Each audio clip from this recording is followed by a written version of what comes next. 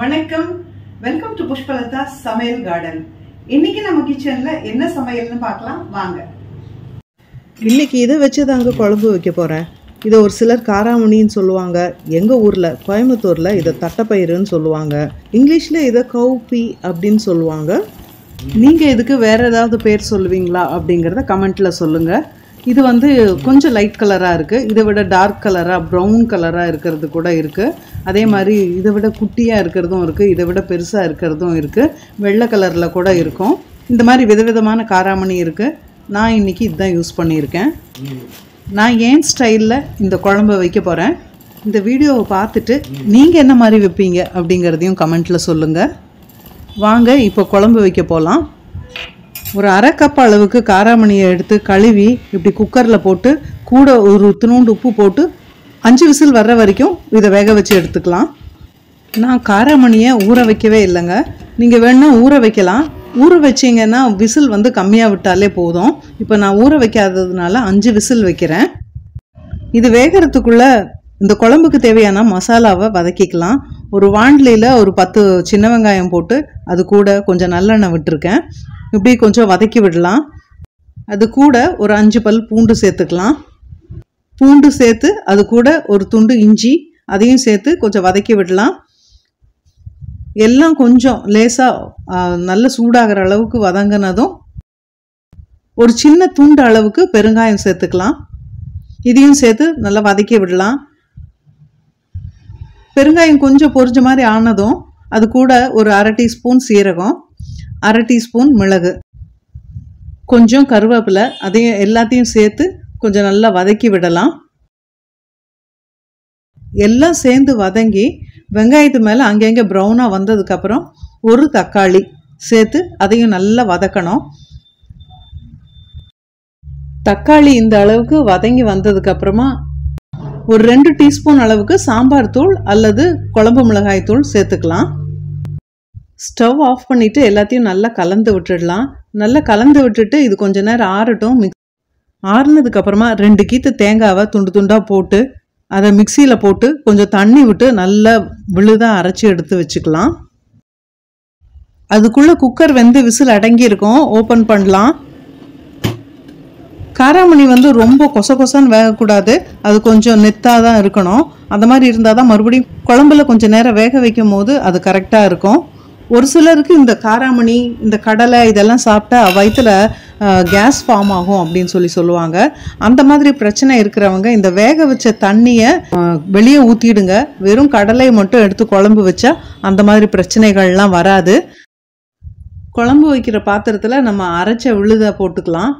அதை போட்டுட்டு அப்புறம் இந்த மிக்சி கழுவுன தண்ணி அப்புறம் குழம்புக்கு தேவையான அளவுக்கு தண்ணி எல்லாத்தையும் ஊற்றி மசாலாவை நல்லா கரைச்சி விடணும்.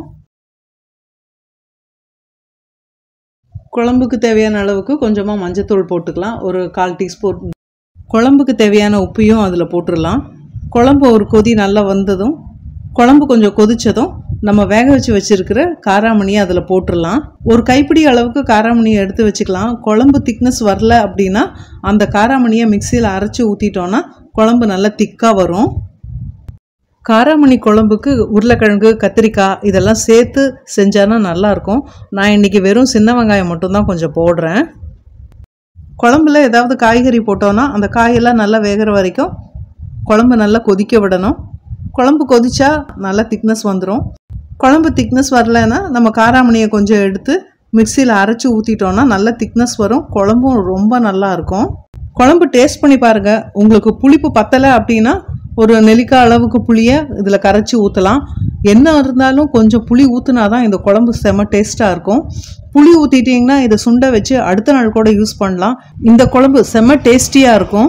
நம்ம நல்லா வதக்கி அரைச்சி வச்சதுனால குழம்பு அவ்வளோ டேஸ்ட்டாக இருக்குங்க. குழம்பு நல்லா கொதித்து இறக்குற பக்குவத்துக்கு வந்துருச்சு. இந்த வாண்லியில் ஒரு டேபிள் ஸ்பூன் அளவுக்கு எண்ணெய் ஊற்றிக்கிறேன் அதில் ஒரு அரை டீஸ்பூன் கடுகு போடுறேன். கொஞ்சம் பெருங்காயத்தூள் போட்டுக்கலாம். பெருங்காயத்தூள் போட்டால் வாயுவுக்கும் நல்லது நல்ல வாசனையாகவும் இருக்கும். இந்த கருவேப்பிலை கழுவி எடுத்து வச்சுருக்கேன். அதையும் இதில் போட்டுக்கலாம். நல்லா படப்படான்னு சவுண்டு வரும். கருவேப்பிலை நல்லா தாளித்து எடுத்து தாளித்து எடுத்து குழம்புல கொட்டி ஒரு கலை கலக்கி விட்டால் குழம்பு சும்மா சூப்பராக ரெடி ஆயிருங்க. செம்ம டேஸ்ட்டாக இருக்கும் இந்த குழம்பு. சாப்பாடு இட்லி தோசைக்கு மட்டும் இல்லைங்க. ராகி களி சோளக்களி எல்லாத்துக்குமே இது செம சூப்பரான காம்பினேஷன் எங்க வீட்டில் இது சப்பாத்திக்கு கூட வச்சு சாப்பிடுவாங்க. செம டேஸ்டா இருக்கும். சப்பாத்திக்கு தொட்டுக்கணும் அப்படிங்கும்போது இது கூட கடைசியாக கொஞ்சோண்டு கரம் மசாலா பவுடர் போட்டு ஒரு கொதி வச்சுட்டு அப்புறம் பொடியாக நறுக்குன கொத்தமல்லியும் புதினாவும் சேர்த்து கடைசியில் சேர்த்துட்டு சப்பாத்திக்கு தொட்டுட்டா செம சூப்பராக இருக்குங்க. இந்த குழம்புக்கு கடைசியில் கொத்தமல்லியை பொடி பொடியாக நறுக்கி போட்டோம்னா சூப்பராக இருக்கும். இன்னைக்கு காலையில் கொத்தமல்லி சட்னிக்கு பூரா கொத்தமல்லியும் போட்டுட்டேன். அதனால இப்போ குழம்புக்கு போடுறதுக்கு கொத்தமல்லி இல்லை. கொங்கு நாட்டு தட்டைப்பயிறு குழம்பு இல்லைன்னா காராமணி குழம்பு ரெடிங்க. இந்த மாதிரி ரெசிபி உங்களுக்கு நிறைய பேருக்கு தெரிஞ்சிருக்கலாம். தெரியாதவங்களுக்கு இது புதுசாகவும் இருக்கலாம்.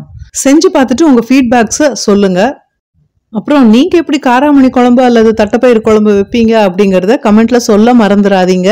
யாராவது வித்தியாசமாக குழம்பு வைப்பீங்க அப்படின்னாலும் அந்த ரெசிபியை எனக்கு கொடுங்க. நானும் செஞ்சு பார்த்துட்டு உங்களுக்கு சொல்கிறேன் வெச்ச குழம்ப வெச்ச பாத்திரத்தோட அப்படியே காமிச்சிட்ருக்கேன். இப்படி காமிச்சா உங்களுக்கு பிடிச்சிருக்கா? இல்லைன்னா சமைச்ச சாப்பாடை நல்லா அழகாக டெக்கரேட் பண்ணி ப்ரெசென்ட் பண்ணால் உங்களுக்கு பிடிக்குமா? அப்படிங்கிறதையும் கமெண்ட்டில் சொல்லுங்கள் நீங்கள் விரும்புகிற மாதிரி வீடியோ கொடுக்கறது தான் எனக்கும் விருப்பம். உங்கள் கருத்துக்களை கமெண்ட் பாக்ஸில் சொல்லுங்கள் உங்களுக்கு நம்ம சேனலில் கார்டனிங் வீடியோஸ் பிடிக்குதா? இல்லை சமையல் வீடியோ பிடிக்குதா? அப்படிங்கிறதையும் கமெண்ட்டில் சொல்லுங்கள் கிச்சன் மேடையெல்லாம் ஃபைட் சீன் நடந்த மாதிரி கிடக்குதுங்க. நான் போய் எல்லாம் க்ளீன் பண்றேன்.